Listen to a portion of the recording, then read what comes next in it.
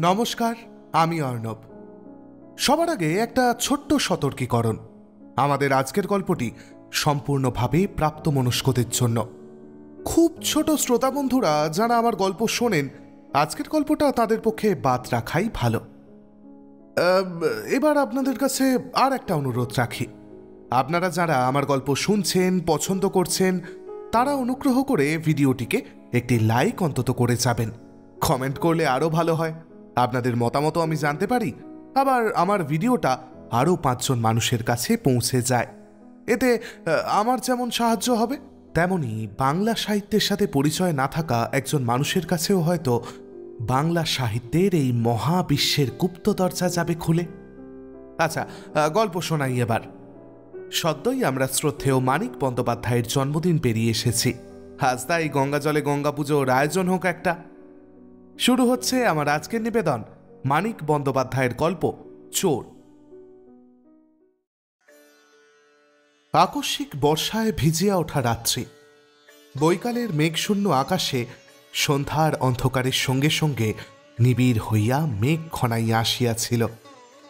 মধ্যরাত্রে নিদ্রিত নিঝুম গ্রামটির ওপর সেমেক সহসা অবিরল ধারে কলিয়া পড়িতে শুরু করিল। গ্রামের পাশ দিয়া একটা খাল বহিয়া গিয়া রসুলপুরের কাছে বড় নদীতে মিশিয়াছে। খালের পূব পারে গ্রামের যে অংশটুকু আছে, তাহাতে ভদ্রলোকের বসতি নাই। গোয়ালাপাড়া, কুমোরপাড়া আর বাগদিপাড়া লইয়া খালের এ তীরের গ্রাম। কয়েক ঘর দরিদ্র চাষা তাহার মধ্যে মাথা গুঁজিয়ে আছে। খালের খানিক তফাতে প্রকাণ্ড একটা বিল। স্থানটা একটু জঙ্গলাকীর্ণ এবং অত্যন্ত অস্বাস্থ্যকর। গোয়ালাপাড়ার শেষের দিকে বিলের ধারে জঙ্গল ঘেঁষিয়া পুরাতন বিবর্ণ খড়ে ছাওয়া বাড়িটি মধু ঘোষের। তক্তপোষে মলিন দুর্গন্ধ বিছানায় মধু ঘুমাইয়াছিল।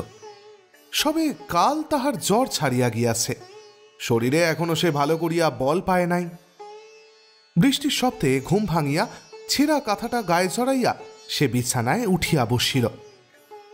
বেড়ার গায়ে বাঁশের কঞ্চি বসানো ক্ষুদ্র জানালাটি দিয়া উৎসুক দৃষ্টিতে বাহিরের অন্ধকারের দিকে চাহিয়া বলিল, দেখ কাদু, কপাল ঘানা দেখ একবার। কাদু আগেই উঠিয়া প্রদীপ জ্বালিয়াছিল, বলিল, কপালের কি হলো? মধু বিমর্ষভাবে বলিল, এখনও পথ্যি পেলাম না, আর আজই শালার জল নামলো। দুদিন পরে জলটা নামলে একবার বেরোনো যেত। ভাদ্রের শেষ এবছর আর জল হবে কিনা ভগবান জানে। বর্ষার রাত্রে চুরি করিবার অনেক সুবিধা আছে। অমাবস্যার রাত্রির চেয়ে অন্ধকার কারও হয়। ঠান্ডায় মানুষ গভীরভাবে ঘুমায়। শত প্রয়োজনেও সহজে কেহ পথে বাহির হয় না। গ্রামের কুকুরগুলি আশ্রয় খুঁজিয়া লইয়া মাথা গুঁজিয়া থাকে। সামান্য পদশব্দেই খাঁ খাঁ করিয়া ওঠে না। গৃহস্থের ঘরের ভিটা বৃষ্টির জলে নরম হইয়া থাকে। শীত কাটা সহজ হইয়া পড়ে এবং শব্দও কম হয়। মধুর শীত কাটিবার বিশেষ দরকার ছিল। গত বৈশাখ মাসে রসুলপুরের মেলায় পুলিশের লাইসেন্স লইয়া বালা খেলার ব্যবস্থা করিয়া সে কিছু টাকা পাইয়াছিল। তারপর এ পর্যন্ত তাহার আর কোনো উপার্জন হয় নাই। উপার্জনের চেষ্টাও অবশ্য সে করে নাই। হাতের টাকা একেবারে খরচ হইয়া না গেলে রোজগারের দিকে মধু নজর দিতে পারে না। এমনিভাবেই সে এতকাল কাটাইয়াছে, এই তাহার স্বভাব। বছরের কয়েকটা মাস তাহার বেশ সুখেই কাটিয়া যায়। বাকি মাসগুলি অভাবের পীড়নে তাহার ও কদুর কষ্টের সীমা থাকে না। একেবারে অচল হইয়া পড়িবার আগে মধু সহসা আবার কিছু টাকা সংগ্রহ করিয়া ফেলে। বৈধ উপায়ে আজ পর্যন্ত সে একটি পয়সাও উপার্জন করিয়াছে কিনা সন্দেহ। গোপন ও প্রকাশ্য যত প্রকার উপায় তাহার অনিয়মিত আয় হয়, তার সবগুলি নীতি বিগর্হিত কিন্তু কোনো রকম নীতির ধার মধু ধারে না। পয়সার জন্য সে করিতে পারে না, জগতে এমন কাজ নাই। সে শিশুর গলার হার ছিনাইয়া লইয়াছে, মেলায় জুয়ারি সাজিয়া দরিদ্র চাষার উপার্জনে ভাগ বসাইয়াছে, পকেট মারিয়াছে। দূর গ্রামে গিয়া পিতৃদায় উদ্ধারের জন্য বাড়ি বাড়ি ভিক্ষা করিয়াছে। কোমরে ল্যাঙো টাটিয়া সর্বাঙ্গ তৈলাক্ত করিয়া মাঝে মাঝে গৃহস্থের ভিটায় সিঁদো সে দিয়াছে। দেহে শক্তি ও মনে সাহস থাকিলে বোধহয় ডাকাতি করিতেও সে ছাড়িত না। দুয়ারের কাছে প্রদীপটা নামাইয়া রাখিয়া ঝাঁপ খুলিতে খুলিতে কাদু তাহার কথার জবাবে বলিল, বেরিয়ে তো রাজা হয়ে আসতে। মজুর খাটলেও মানুষ তোমার চেয়ে বেশি রোজগার করে। মধু একটু আহত ও উষ্ণ হইয়া বলিল, কেন? রোজগারটা কম হচ্ছে কি শুনি? তোকে সেদিন রূপ চুরি কিনে দিইনি? কাদু মুখ ফিরাইয়া বলিল, ও, ভারী রূপর চুরি দিয়েছ। চার বছর ঘর করছি। কগাছা রূপর চুরি দিয়ে বাখানেরা সীমে নেই। চুলোয় গুঁজে দেব চুরি ঝাঁপ খুলিয়া সে বাহিরে চলিয়া গেল। ঘোটের ঝুড়িটা বাহিরের রোয়াক হইতে ঘরের ভিতরে আনিয়া রাখিয়া বলিল সাদ আহ্লাদ চুলোয় গেছে, ঘুঁটে দিয়ে ঝিগিরি করে মরলাম। দুগাছা চুরি দিয়ে কত তোমার বড়াই কিসের হ্যাঁ অন্য কেউ হলে কত দিত দেখতে। মধু অবাক হইয়া গেল। কাদুর মুখে এই ধরনের নালিশ শুনিবার অভ্যাস তাহার ছিল না। নালিশ করিবার স্বভাবই কাদুর নয়। চার বছর আগে বৃন্দাবনপুরে যতীন সাহার বাড়িতে শীত দিয়া মধুর একটা মোটা রকম লাভ হইয়াছিল। মাসে দশ টাকা আর খাওয়া পড়া দিলেই কোমরপাড়া সৌদামিনী তাহার সঙ্গে বাস করিতে তখন রাজি হইয়া যাইত। কিন্তু দুই শত টাকা পণ পান দিয়া কাদুকেই বিবাহ করিয়া সে ঘরে আনে। তিন চার বছর জেলে পচিবার বিপদ মাথায় করিয়া উপার্জন করা অতগুলি টাকা দিয়া একদিনের জন্য মধু আফসোস করে নাই। কাদুর রূপ ও গুণের তুলনায় ও টাকা কিছুই নয়। হাতে টাকা থাকায় কাদুকে ঘরে আনিয়া বছরখানেক তাহার সুখেই কাটিয়া গিয়াছিল। এক বছরের মধ্যে উপার্জনের জন্য মধু একেবারেই মাথা ঘামায় নাই। কাদুময় জগতে কাদুর নেশায় বিভোর হইয়া অলস অকর্মণ্য জীবনযাপন করিয়াছিল। তারপর টাকার অভাবে প্রায়ই তাহারা কষ্ট পাইয়াছে। মাঝখানে মধু তো একবার জেলেই যাইতে বসিয়াছিল। সে সময় কাদুকে দু একবেলা উপবাস পর্যন্ত করিতে হইয়াছে। কিন্তু কাদু কখনো অনুযোগ করে নাই। আজ কদিন ধরিয়া তাহার কি হইয়াছে কে জানে। ফুঁ দিয়া আলো নিবানোর সময় কাদুর আলোকোচ্ছল মুখখানি মধু একাগ্র দৃষ্টিতে চাহিয়া দেখিল। তাহার মনে হইল, কাদুর মুখে একটা অপরিচিত ছায়া পড়িয়াছে। প্রদীপের শিখার কাছে মুখ আগাইয়া লইয়া গিয়া ফুঁ দেওয়ার আগে কাদু যেভাবে আর চোখে তাহার দিকে চাহিল সে ভঙ্গিও মধুর কাছে অচেনা ঠেকিল। কাদু বিছানার উপর উঠিয়া আসিলে তাহাকে আদর করিবার চেষ্টা করিয়া মধু বলিল, একবার বেরোই আজি, তুই কি বলিস কাদু? কাদু দৃঢ়ভাবে তাহার আদর প্রত্যাখ্যান করিয়া বলিল, তোমার খুশি, ঘুম পেয়েছে, জ্বালাতন করুনি বাপু, আমাকে ঘুমোতে দাও। মধু আহত হইয়া কাঁথাটা গায়ের উপর টানিয়া লইয়া নিঃশব্দে শুইয়া পড়িল। বাহিরে ঝমঝম শব্দে বৃষ্টি হইতেছে। বর্ষার শেষ অভিনয়। চার পাঁচ দিন পরেই পূর্ণিমা। কাল হয়তো মেঘশূন্য আকাশে চাঁদ উঠিবে। জ্যোৎস্নায় রাত্রিতে চলাফেরার গোপনতা যাইবে মুছিয়া। মধুর মন কেমন করিতে লাগিল। আজ রাত্রির মতো সুযোগ বহুকাল পাওয়া যাইবে না। কাদুর মুখে আবার কবে সে হাসি ফুটাইতে পারিবে কে জানে? যত দিন যাইবে, অভাব ততই বাড়িয়া চলিবে। কাদুর ধৈর্য যখন একবার ভাঙিয়া গিয়াছে, রাগ এবং বিরক্তি তাহার অভাবের অনুপাতে পারিবে বই কমিবে না। মধুর ঘুম আসিল না। সে আকাশ পাতাল ভাবিতে লাগিল। কিছুদিন আগে সে খবর পাইয়াছিল, গ্রামের রাখাল মিত্র অনেকগুলি নগদ টাকা সঙ্গে লইয়া বাড়ি আসিয়াছে। রাখাল মিত্রের বাড়িটা কাঁচা। রাখালের টাকা রাখিবার লোহা সিন্দুকও নাই। মধুর লোভ হইয়াছিল। রাখাল বাড়ি আসিলে রাখালের বউ স্বামী সেবার সুবিধের জন্য একটা ঠিকে ঝি রাখে। ঘরের সন্তান আনিবার জন্য অনেক বলিয়া কহিয়া কাদুকে রাজি করাইয়া মধু তাহাকে রাখালের বাড়িতে কাজ করিতে পাঠাইয়াছিল। বলিয়াছিল, একদিনের তরে যা না কাদু, খবরটা এনে দে। একদিন কাজ করে পোষালো না বলে চলে আসিস। আর তোকে যেতে হবে না।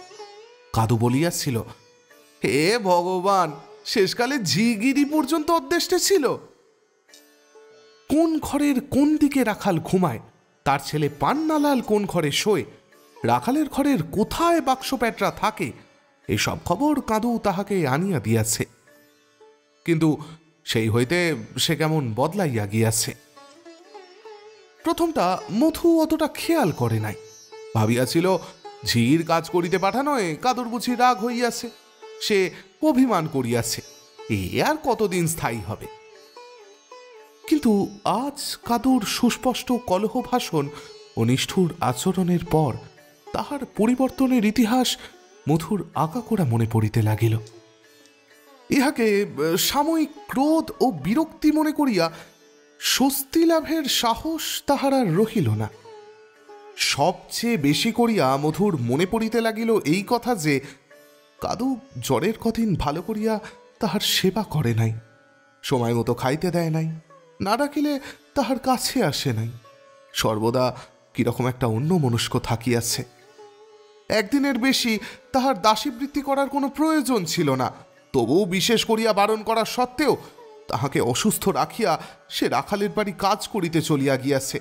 কৈফিয়ত দিয়াছে হঠাৎ কাজ ছেড়ে দিলে লোকে সন্দেহ করবে যে, সন্দেহ করবে কি করবে না, সে আমি বুঝব, তুই আর কাজে যাস নে কাদু। এ মাসের কটা দিন যাই, বলা নেই, কওয়া নেই, হঠাৎ মানুষের বাড়ি কাজ ছেড়ে দিই, কি করে শুনি? এমনি সব কথা যার অর্থ বোঝা যায় না।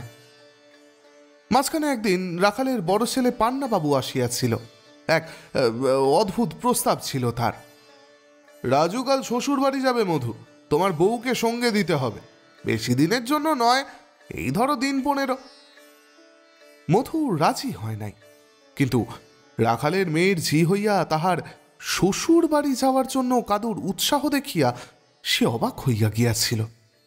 যাওয়ার অনুমতি না পাইয়া দুদিন কাঁদু তাহার সঙ্গে ভালো করিয়া কথা বলে নাই। দশ টাকা মাইনে দিত, দশটা টাকা তোমার জন্য জলে গেল। বলিয়া বলিয়া কয়েকদিন সে যে কেন আফসোস করিয়া মরিয়াছিল, অনেক ভাবিয়াও মধু তাহা বুঝিতে পারে নাই। অনেকক্ষণ পর মধু টের পাইল, পাশে কাদুর চোখেও ঘুম আসে নাই। ঘুম আসনি কাদু? না। মধু আরেকবার তাহাকে জড়াইয়া ধরিবার চেষ্টা করিয়া বলিল, কেন ঘুমোসনি রে? এত ঘুম কাতুরে তুই। গরম লাগছে, ছাড়ো। সারাদিনের কুমট করা গরমের পর এতক্ষণে পৃথিবীর আবহাওয়ায় মনোরম শীতলতা ঘনাইয়া আসিয়াছে। কাদুর কথাটা মধু বিশ্বাস করিতে পারিল না। তোর কি হয়েছে তুই বল তো? কি আর হবে, কিছুই হয়নি। জ্বর থেকে উঠেছ, রাত না জেগে ঘুমোও না বাপু। এ অনুরোধ মেহের পরিচায়ক। কিন্তু কথাগুলিতে এমন বোধ ছিল যে মধু আবার আহত ও অবাক হইয়া গেল। কাদুর এই স্থায়ী অনমনীয় বিরক্তির কারণটা অনুমান করা অবধি তাহার মনের মধ্যে দারুণ অস্বস্তি হইতেছিল। বুনো শেয়ালের প্রকৃতি লইয়া ঈশ্বরের কোন বিস্ময়কর নিয়মে এসে কাদুকে ভালোবাসিয়াছিল তা বলা যায় না। আপনার বিকৃত গোপনতা, লোভ ও সেই লোভের জন্য বিরামহীন শাস্তির আশঙ্কা এবং মৃত বিবেককে বুকে করিয়া বেড়ানোর যন্ত্রণা তাহার মনের চারিদিকে হীনতার প্রাচীর তুলিয়া দিয়াছে। স্বার্থ ছাড়া জগতে সে আর কিছুই বোঝে না। তবু কদুর প্রতি তাহার অপরিসীম মমতা আছে। যে মমতার বশে কাদুর জন্য তাহার অনেকগুলি ত্যাগ সম্ভব হইয়াছে। তাহার নিস্তেজ ফিরু মন, তাহার চেয়ে যারা দুর্বল, তাহাদের প্রতি অত্যাচার করিবার জন্য সর্বদা উন্মুখ হইয়া থাকে। মাঝে মাঝে কাদুর সুন্দর ফাঁপা গাল দুটিতে চর বসাইয়া দিবার জন্য মনে যে তাহার কখনো উন্মুক্ত ইচ্ছা জাগে নাই, এমনটা নয়। কিন্তু জীবনে আর কোনো বিষয়ে লেশ মাত্র সংযম না থাকিলেও এই ইচ্ছাকে সে বরাবর দমন করিয়া আসিয়াছে। রাগে সময় চোখ রাঙাইয়াছে, দাঁতে দাঁত ঘষিয়াছে চাতা কাল দিয়া বসিয়াছে। কিন্তু কখনো গায়ে হাত তোলে নাই। কাদুর চোখে জল দেখিবা মাত্র নিজেও সে গলিয়া জল হইয়া গিয়াছে। ভদ্রলোকে যেভাবে প্রগাঢ় আবেগের সঙ্গে, প্রেমাত্মক সুনিবিড় আত্মীয়তার সঙ্গে ক্রন্দসী প্রিয়াকে আদর করে, তেমনিভাবে বুকে নিয়া চুমো খাইয়া গদগদ ভাষায় ভালোবাসা জানাইয়া কাদুকে সে সোহাগ করিয়াছে। বলিয়াছে, তুই আমার পাঁচরা কাদু, তুই আমার চোখের মণি, আমার আধার ঘরের আলো তুই, মানিক তুই বলিয়াছে, মাইরি, বলছি, এক লহমার জন্য তোকে চোখের আড়াল করলে আমার বুক ফেটে যায়, কাদু। কাদুও এ ভালোবাসা কড়ায় কণ্টায় শোধ করিতে ছাড়ে নাই। মন দিয়া করিয়াছে স্নেহ, দেহ দিয়া করিয়াছে সেবা। চোরের মনটি চুরি করিবার জন্য যত কলাকৌশল ছলচাতুরি সম্ভব, তাহার একটিকেও সে অবহেলা করে নাই। মধুর মনে হইয়াছে, জগতে কাদুর তুলনা নাই। রূপে, গুণে, স্নেহ, মমতায় সে অতুলনীয়।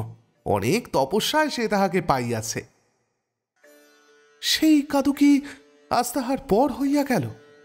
সোনার চুরির বদলে রূপার চুরি দিয়াছে বলিয়া সোনার মেয়ে কি পাথর হইয়া গিয়াছে? তাহার সে টাকাকেই বেশি ভালোবাসিতে শিখিয়াছে। আরও খানিক্ষণ চুপ করিয়া শুইয়া থাকিবার পর মধু হঠাৎ উঠিয়া বসিল। বলিল, কাদু ওর তো একবার। কাদু বলিল কেন? উঠব কি জন্য?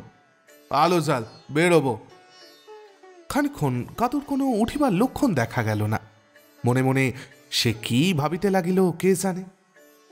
তারপর নিঃশব্দে উঠিয়া দীপ চালিল বলিল না বেরোলেই তো হতো আজ জ্বর থেকে উঠেছ। মধুর হঠাৎ রাগ হইয়া গেল। অত সোহাগ আর তোকে জানাতে হবে না জানলি? ঢের হয়েছে অন্য লোকে কত দিত? যে দিত জানা তার কাছে। খাদুর হাতে নতুন চুড়িগুলিকে প্রদীপের আলোয় চিকচিক করিতে দেখিয়া মধুর রাগ এক মুহূর্তে অভিমানে পরিণত হইয়া গেল। জ্বর গায়ে রাত দুপুরে বৃষ্টি মাথায় করে কামাতে চললাম। এর মুখ তবু হাঁড়িপানা হয়ে রইল। ধরা পড়ি তো আচ্ছা হয়। কাদু বলিল, কে যেতে বলেছে? তুই বলেছিস, তুই। চুপ করে থাক কাদু রাগের সময় কথা কয়ে রাগ বাড়াস না। কাদু একটু ভয় পাইয়া বলিল কামাখা রাগ করলে মানুষ কি করবে? মধু রাগে অভিমানে স্ত্রীর কথার কোনো জবাব দিল না। কেন? ও পায়ে ধরিতে পারে না, গলা জড়াইয়া কাঁদিতে পারে না, বলিতে পারে না। অসুখ শরীরে আজ তুমি যেও না গো, তোমার দুটি পায়ে পড়ি। কথা শোনো লক্ষ্মী, নইলে কিন্তু আমি গলায় দড়ি দেব। মধু কোমরে ল্যাঙো টাটিল কোমরে যে এত ব্যথা ধরিয়া আছে, শুইয়া থাকার সময় কে তাহা জানিত? ঘরের কোনায় ভুসি রাখা জানালার ভিতর হইতে শীতকাটি বাহির করিয়া মধু বলিল, এহ মরচে ধরে গেছে। খেয়াল করে একটু তেলও একদিন মাখিয়ে রাখতে পারিসনি, শিলটা আনতো একটু ঘষে নি কাদু বলিল, বৃষ্টিতে মাটি নরম হয়ে আছে হতেই হবে। মধু বলিল, যেমন করে আমায় বিদায় করতে পারলেই বাঁচিস, বল। তোর এত টাকার খাই হলো কবে থেকে বলতো? কাদু কথা কহিল না। শিলটা আনিয়া দিয়া বিছানায় বসিয়া একবার এদিক ওদিক চাহিয়া ঘাড় হেট করিয়া রহিল। তাহার এই অপরিচিত ভঙ্গি মধুর একদমই ভালো লাগিল না। তীক্ষ্ণ দৃষ্টিতে চাহিয়া সে বলিল, তেল মাখব, তেল দে কাদু। কাদু বলিল, তেল নেই। নেই? কেন নেই? জানি নে বাবু অত। নেই তো আমি কি করব? গড়িয়ে আনব? মধু স্থির দৃষ্টিতে কাদুর দিকে চাহিয়া রহিল। কাদুর মধ্যে একটা চাপা উত্তেজনা, একটা গোপন করা চাঞ্চল্য এতক্ষণে সে আবিষ্কার করিতে পারিয়াছে। সে নিজে পাকা চোর, চোরের ভাবভঙ্গি তাহার অজানা নয়। কাদুর চোখে মুখে চুরির উদ্দেশ্য সে যেন স্পষ্ট দেখিতে পাইল। সন্দিগ্ধ হইয়া বলিল তোর ভাবখানা কি বলতো? ওরকম করছিস কেন?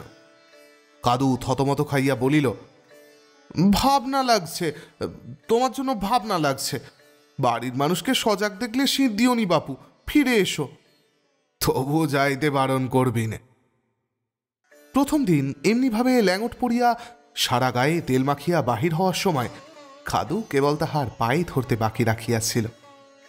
সেদিনের কথাটা ভাবিতে ভাবিতে মনের মধ্যে একটা ক্ষুব্ধ অসন্তোষ লইয়া মধু ছাপ খুলিয়া বাহিরে চলিয়া গেল।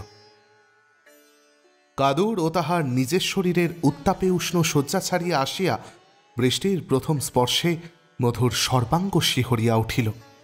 একবার সে মনে করিল, ফিরিয়া যায় কিন্তু ফিরিয়া গেলে কাদু খুশি হইবে না স্মরণ করিয়া দাঁতে দাঁত চাপিয়া গোয়ালাপাড়ার ভিতর দিয়া সংকীর্ণ পথরিয়া সে সাবধানে গ্রামের দিকে আগাইয়া চলিল।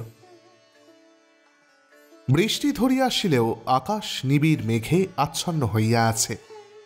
জলসিক্ত, স্তব্ধ ঘরের ঘরগুলোর পাশ দিয়া চলিতে চলিতে মধুর অসন্তোষ যেন বাড়িয়া গেল।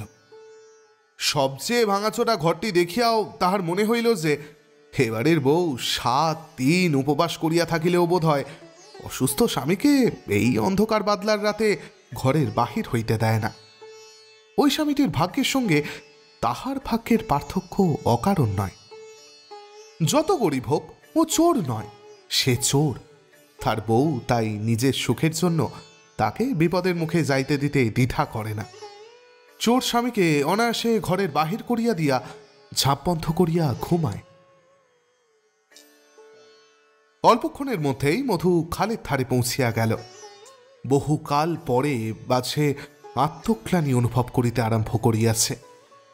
পাপ, পুণ্য, ভালো, মন্দের যে সংস্কার তাহার মরিয়া মরিয়া একেবারে নবজন্মগ্রহণ করিয়াছিল, তাহাই যেন আবার আগের রূপ ধরিয়া তাহার মনের মধ্যে অস্বস্তি ও বিতৃষ্ণা ছড়াইয়া দিতে লাগিল।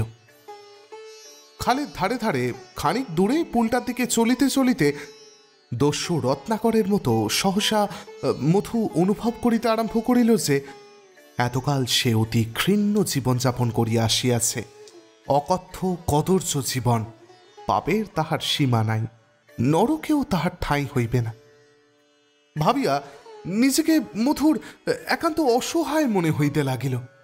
একটা অভূতপূর্ব হারাইয়া যাওয়ার অনুভূতির মধ্যে তাহার সহসা যেন ভয় করিতে লাগিল। সে আবার ভাবিল, থাক, কাজ নাই চুরি করিয়া, ফিরিয়া যাওয়াই ভালো। কিন্তু কাদুকে মনে করিয়া এবারও প্রত্যাবর্তনের ইচ্ছেটা তাহাকে দমন করিয়া ফেলিতেই হইল। কাদুর উপরে তাহার রাগ ও অভিমানের সীমা ছিল না। তবু এমন অবস্থাতেও সে ভুলিতে পারিতেছিল না যে কাদু তাহাকে দুর্লভ রূপ যৌবন দিয়াছে। আজ না দিক এতকাল স্নেহও দিয়াছে। সেই দাবিতে কাদু তাহার কাছে সুখ চায়। প্রার্থনাটা যতই স্বার্থপরের মতো হোক। অসঙ্গত নয়, অনুচিত নয়। কাদুকে এসব তাহার দিতেই হইবে।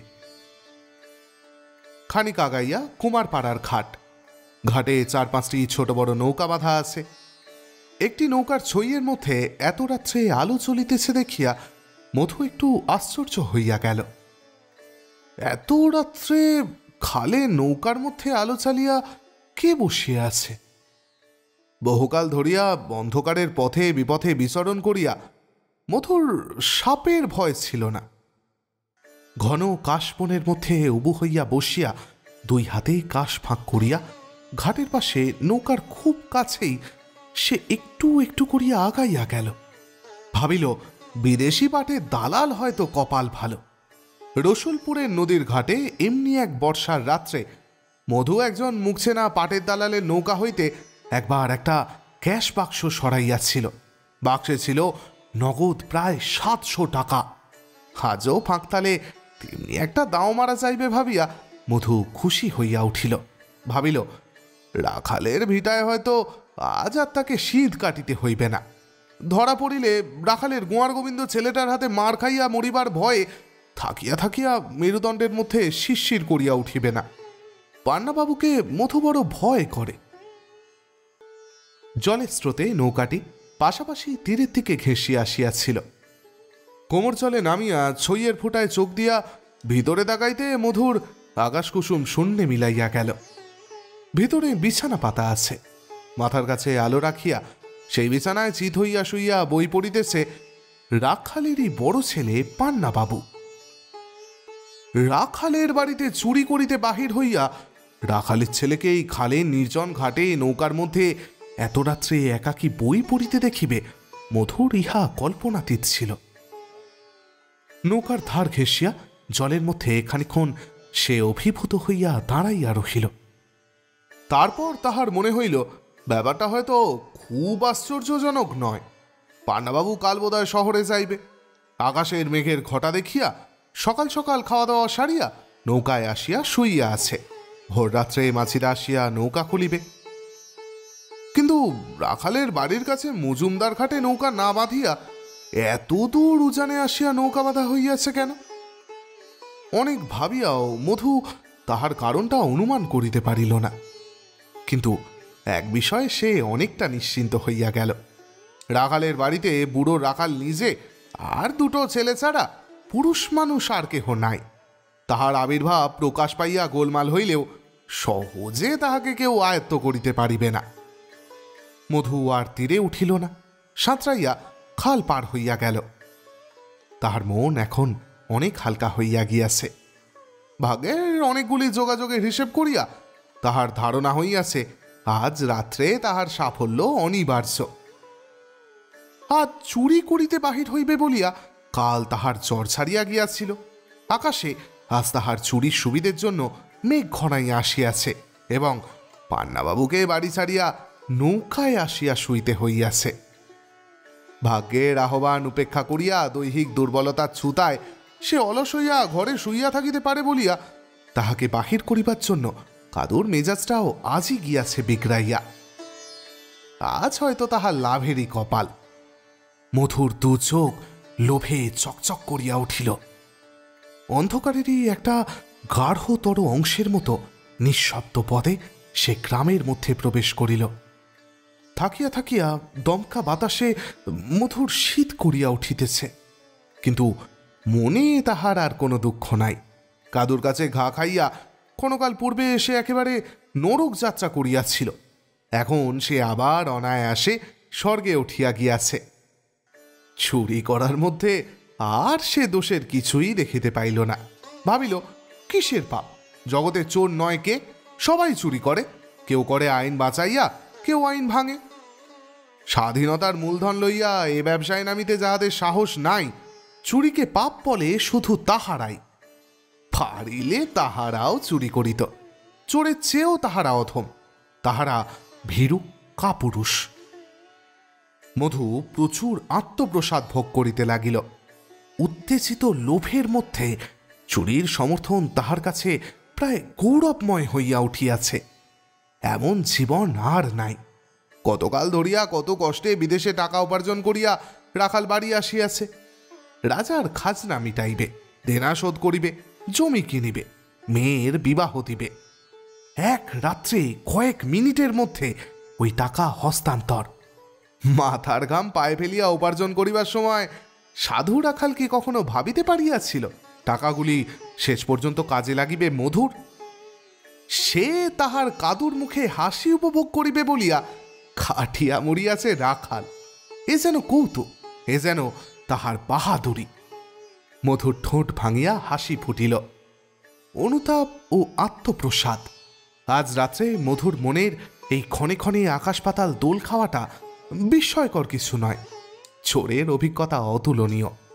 হৃদয়ের বিবর্তন তাহাদের অসাধারণ। অথচ চোরেরা জীবনে বড় একা। ওদের আপনার কেহ নাই। কবির মতো, ভাবুকের মতো নিজের মনের কথা ওরা লুকাইয়া বাস করে। যে স্তরের অনুভূতিই ওদের থাক, যে রুক্ষ শ্রীহীন সীমানার মধ্যেই ওদের কল্পনা সীমাবদ্ধ হোক, ওদের অনুভূতি, ওদের কল্পনা ক্ষণে ক্ষণে বিচিত্র, পরিবর্তনশীল। অনেক ভদ্রলোকের চেয়ে ওরা বেশি চিন্তা করে।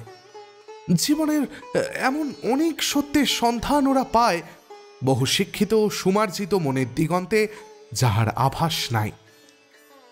কবির নেশা নারী, চোরের নেশা চুরি। আসলে ও দুটো নেশাই মানসিক উর্বরতা বিধানের পক্ষে সমান সারবান। সংসারে এমন লক্ষ লক্ষ সাধু আছে, যাদের লইয়া আমি গল্প লিখিতে পারি না। জীবনে তাহাদের গল্প নাই। প্রেমিকের মতো, অন্যায় অসঙ্গত চুরি করা প্রেমে বুৎপন্ন প্রেমিকের মতো, চোরের জীবন গল্পময়। শীতের ফোঁটা দিয়া রাখালের ঘরের মধ্যে প্রবেশ করিবার সময় মধুর হৃদয় তীব্র সতেজ উত্তেজনায় ভরপুর হইয়া গেল। তার প্রত্যেকটি ইন্দ্রিয় তীক্ষ্ণ সতর্কতায় সজাগ হইয়া রহিল। ঘরে আলো কমানো ছিল। খাটের ওপর পাঁচ, ছয় বছরের ছোট ছেলেটিকে নিয়া রাখাল শুইয়া আছে। রাখালের স্ত্রী ও বিবাহযোগ্য মেয়েটির বিছানা হইয়াছে মেঝেতে। এদিকে অন্ধকার কোণে নিঃশ্বাস রোধ করিয়া দাঁড়াইয়া মধু ঘরের চারিদিকে চাহিয়া দেখিতেছিল। নিস্তব্ধ ঘরে ঘুমন্ত মানুষের শান্ত আবহাওয়া। এর মধ্যে আসিয়া দাঁড়ানো মাত্র মধুর উত্তেজনা আরও তীব্র, আরও উন্মাদনাকর হইয়া গিয়াছিল। বাহিরের অন্ধকার হইতে আসিয়া ঘরের মৃদু আলোতেও সে সমস্ত পরিষ্কার দেখিতে পাইতেছিল। রাখালের মেয়েটির উপর চোখ পড়িতে তাহার বুকের মধ্যে ছ্যাত করিয়া উঠিল। মেয়েটি অবিকল যেন কাতুর ভঙ্গিতে ঘুমাইয়া আছে। আচ্ছা জগতে সব মেয়ে কি এমনিভাবেই ঘুমায়? কিন্তু কাদুর হাতে রূপার চুরি মেয়েটা সোনার চুরি পরিয়াছে। কাদুর মতো ও মোটাও নয়, এখনও দেহটি ওর উচ্ছ্বসিত হইয়া উঠিবার সময় পায় নাই। ক্ষীণ কোটিতর দেহরেখা ওর ধনুকের মতো বাঁকিয়ে আছে। মুখখানা কচি ফুলের মতো কোমল, কাদুর মুখের মতো বাকিয়া যায় নাই। গায়ের রং গোধূলির মতো মনোরম, প্রভাতের মতো উজ্জ্বল। এই মেয়ের বিবাহের জন্যই বিশেষ করিয়া রাখাল টাকা লইয়া বাড়ি আসিয়াছে। কাদুকে তাহার টাকা দিয়া কিনিতে হইয়াছিল। টাকা দিয়া মেয়েকে রাখাল বিলাইয়া দিবে। মধু নিজেই মাথা নাড়িল। এক মুহূর্তের জন্য তার মুখের ভাব বিষণ্ণ ও করুণ দেখাইল। কামনা করিবার অধিকার এই জগতে সকলের আছে। কোনো অবস্থাতেই কেহ নিজেকে এই অধিকার হইতে বঞ্চিতও করে না। রাখালের ঘুমন্ত মেয়েটার জন্য একটা প্রগাঢ় অস্থায়ী প্রেম অনুভব করিতে মধুর হৃদয়ে কোনো বাধাই পাইল না। হৃদয়ের এই আকস্মিক আবেগ সঞ্চার তাহার নূতন নহে। গহনার দোকানের সামনে দাঁড়াইয়া এমনই আকস্মিক হৃদয়োচ্ছ্বাস সে অনুভব করিয়াছে।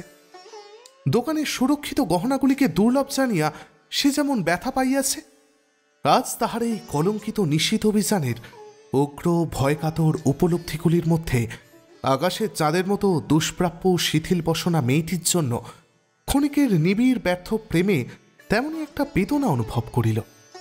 তাহার স্বাদ হইল, মেয়েটিকে একবার সে স্পর্শ করে।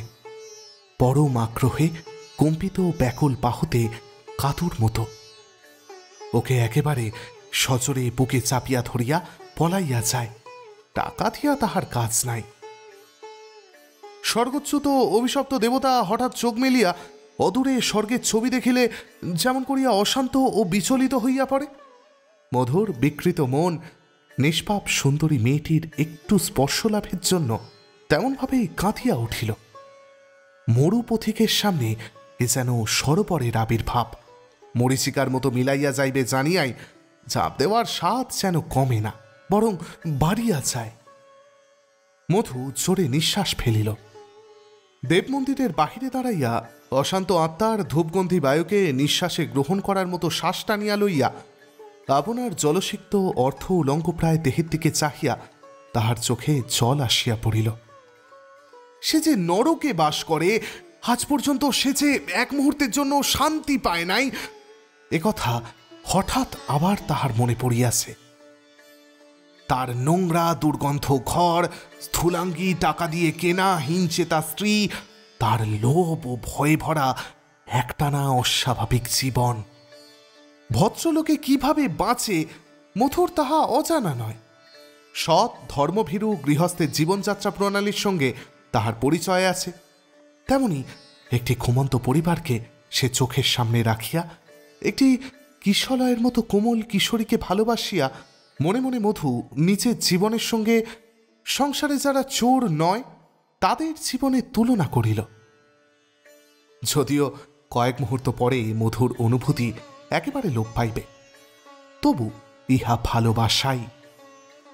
হিংসায় ক্ষোভে সে চর্চরিত হইয়া গেল। ভাবিল ফিরিয়া চায়, আর কাজ নাই তাহার চুরি করিয়া। ফিরিয়া গিয়া নতুন করিয়া জীবন আরম্ভ করে। সংযত সুন্দর পবিত্র জীবন। ঈশ্বরকে আর কি ভক্তি করা যায় না? কাদুকে শেখানো যায় না, লোভ করিতে নাই, নোংরা থাকিতে নাই, অবাধ্য হইতে নাই, কলহ করিতে নাই। সোনার চুরির চেয়ে রূপার চুরিতে সুখ বেশি, এ কি কাদুকে বোঝানো যায় না? পরকালের কথা ভাবিয়া পরদ্রব্যে লোভ করা কি তাহারা দুজনে বন্ধ করিতে পারে না? সে মজুর খাটিবে গরু কিনিয়া দুধ বেচিবে জমি কিনিয়া চাষ করিবে, না হয় গ্রামের মধ্যে মনোহারি দোকান দিবে। স্বামী স্ত্রী দুজনে মিলিয়া তাহারা মন্ত্র গ্রহণ করিবে। সকালে উঠিয়া দিনের দেবতাকে প্রণাম করিয়া সন্ধ্যা পর্যন্ত জীবিকার্জনের জন্য খাটিয়া সন্ধ্যার পর একাগ্র চিত্তে তাহারা মালা জপ করিবে। আস্তে আস্তে কথা কহিতে শিখিবে। দুঃখে বিচলিত হইবে না। হৃদয়ের শান্তিতে সকল অবস্থায় শান্ত হইয়া থাকিবে। কাদুর একটি ছেলে নষ্ট হইয়া গিয়াছে। কাদুরই অসাবধানতায়।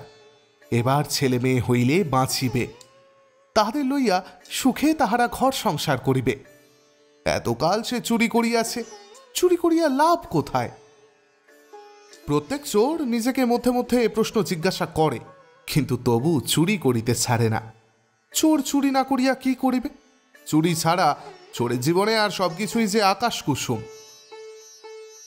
মধুর এত অনুতাপ, রাখালের মেয়ের জন্য এত ভালোবাসা, সৎ হওয়ার এত ব্যাকুল আকাঙ্ক্ষা কিছুক্ষণের মধ্যেই মিলাইয়া আসছিল রাখালের তোরঙ্গটি সিঁধের ফাঁক দিয়া একটু পরে চলিয়া গেল বাহিরে। বেশি টাকা রাখিবার উপযুক্ত ওই একটি তোরঙ্গই রাখালের ছিল। কিছু দূরে আমবাগানে ঢুকিয়া মধু তোরঙ্গটি ভাঙিল। রাখালের বোধহয় টাকা রাখিবার থলি ছিল না। নোট আর টাকাগুলি সে একটি বালিশের খোলে ভরিয়া বাক্সে রাখিয়াছিল। অনেকগুলি খুচরা টাকা থাকায় পুটুলিটি কম ভারী হয় নাই। হাতে করিয়া আনন্দে মধুর মন নাচিয়া উঠিল। খাল পার হওয়ার সময় একবার তাহার মনে হইল টাকার অভাবে রাখাল হয়তো মেয়েটার বিবাহ দিতে পারিবে না। কিন্তু কথাটা তাহার মনে একেবারেই আমল পাইল না। রাখালের মেয়ের জন্য তাহার বুকে আর বিন্দুমাত্র প্রেম অবশিষ্ট ছিল না। রাখালের মেয়েকে সে ভুলিয়া গিয়াছিল। মধু জানিত কুমারপাড়ার ঘাটে পান্নাবাবুর নৌকা বাঁধা আছে। কিন্তু ঘাটের কাছে আসিয়া নৌকাটি ইতিমধ্যেই অদৃশ্য হইয়া গিয়াছে দেখিয়া সে অবাক হইয়া গেল। ভাবিল এত রাত্রে নৌকা ছেড়ে পান্নাবাবু গেল কোথায়? বাড়ি পৌঁছিয়া ঘরের দরজা খোলা দেখিয়া মধু খুশি হইল। ভাবিল, কাদু তাহারই প্রতীক্ষায় দরজা খুলিয়া বসিয়া আছে। আমি এসেছি, কাদু, আলো জাল সে আসিয়াছে কাদুকে সোনার চুরি দেওয়ার ব্যবস্থা করিয়া। এক বছর, দেড় বছর আরামে দিন কাটানোর উপায় করিয়া ফিরিয়া আসিয়াছে। কাদু কত খুশি হইবে? কাদু সারা না পাইয়া সে ঘুমাইয়া আছে মনে করিয়া মধুর আনন্দ একটু কমিল। নিজেই সে কাঠের বাক্সের ওপরটা হাতড়াইয়া হাতড়াইয়া দিয়াশলাই খুঁজিয়া প্রদীপ জ্বালিল। পর মুহূর্তেই দেবালোকে ঘরের শূন্যতা প্রকট হইয়া গেল। দু চোখে অপার বিস্ময় ও আশঙ্কা নিয়া মধু ঘরের শূন্যতাকে প্রত্যক্ষ করিল। এত রাত্রে মানুষের ঘর যে কি করিয়া এমনভাবে খালি হইয়া যায় এ যেন হঠাৎ সে বুঝিয়া উঠিতে পারিল না। বিছানায় কাদু নাই। দড়িতে কাদুর কাপড় দুখানা নাই। বড় টিনের তোরঙ্গটির ওপর বেতের ছোট ঝাপটিও নাই। মধু সহসা ব্যাকুলভাবে টিনের তোরঙ্গটি খুলিয়া ফেলিল। ভিতরে কাদুর কখনা জামা কাপড় ছিল। একটা পিতলের পানের ডিবায় সোনার মাকড়ি ছিল, আংটিও ছিল। সেগুলিও অদৃশ্য হইয়া গিয়াছে। মধুর মনের উত্তেজিত আনন্দ সহসা নিছুম হইয়া গেল। টাকা ও নোটে ভরা বালিশের খোলটি পায়ের কাছে মাটিতে পড়িয়াছিল। সেদিকে তাকাইতে তাহার মনে হইল, আবার তাহার জ্বর আসিতেছে। সহসা মধু বিভৎস হাসি হাসিল। রাখালের ঘরের দিকে চলিবার সময় যে যুক্তি দিয়া নিজের চৌর্যবৃত্তিকে সে সমর্থন করিয়াছিল, সেই কথাটি হঠাৎ তাহার মনে পড়িয়া গিয়াছে, জগতে চোর নয় কে, সবাই চুরি করে।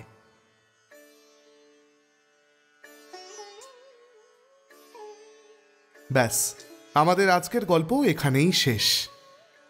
শেষটা বড় সত্যি, তাই না? কিছু না কিছু চুরি বোধহয় প্রায় সবাই করে, অহরহ করে। কেউ যেমন ঘটিবাটি চুরি করে তেমনি কেউ চুরি করে বিশ্বাস, ভরসা, কেউ চুরি করে স্বাচ্ছন্দ্য। যা পাওয়ার কথা ছিল না, তা দাম না দিয়েই কেড়ে নেয় ছলে বলে কৌশলে। যার থেকে কেড়ে নেওয়া হচ্ছে, সে হয়তো জানতেও পারে না। আসলে, সাহিত্যের মহিমাই এই, জানেন তো? যে কথাগুলো খুব সহজ, অথচ আমরা কখনো ভেবেই দেখি না, সেগুলোকে খুব প্রকট করে চোখের সামনে এনে দেয়। আচ্ছা এবার আমি যাই তাহলে। আরও এমন সব গল্পের মোড়কে রাখা সত্যি খুঁজতে বার হই। খোঁজা শেষ হলে আবার দেখা হবে আপনাদের সঙ্গে খুব শিগগিরই। ততদিন খুব ভালো থাকবেন, ভালো রাখবেন। আর আমার শ্রোতা বন্ধুদের কাছে অনুরোধ, চুরি করার ইচ্ছে হলে মানুষের মনই চুরি করবেন না হয়। শুভরাত্রি।